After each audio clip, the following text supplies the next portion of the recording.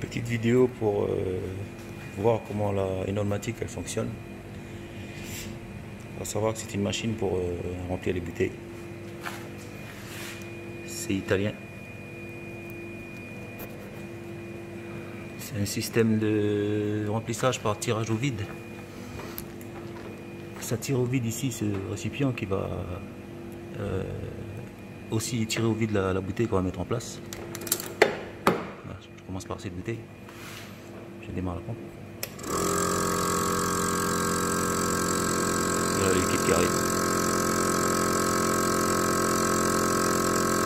Et dès que ça arrive à ce niveau-là, ça, s'arrête automatiquement. Et ça refoule le, surplus dans le récipient derrière. Voilà. Et c'est aussi bon pour n'importe quelle dimension de bouteille. C'est réglable en hauteur. Qui est bien, c'est que c'est- propre et il n'y a pas de liquide qui coule à côté, tout ça. Ça s'arrête tout seul.